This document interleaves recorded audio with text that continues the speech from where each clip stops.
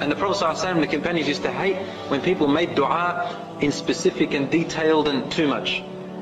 Allah loves a dua which is general for all the mu'mineen. Because the Prophet ﷺ says, whoever makes dua for the mu'mineen, or makes istighfar, asks Allah to forgive the mu'mineen, for every mu'min on the face of the earth, and those who have died, you will receive a reward, a hasana for every single one of them When you make a dua for them, as the Prophet ﷺ said. Every believer, every Muslim that you ask Allah for, Allah will give you a hasana for them. From the beginning of time till the end. Dead or alive. This is what the Prophet ﷺ informed us. So he said, عَمِّمُ فِي الدُّعَاء Make your dua general for everyone.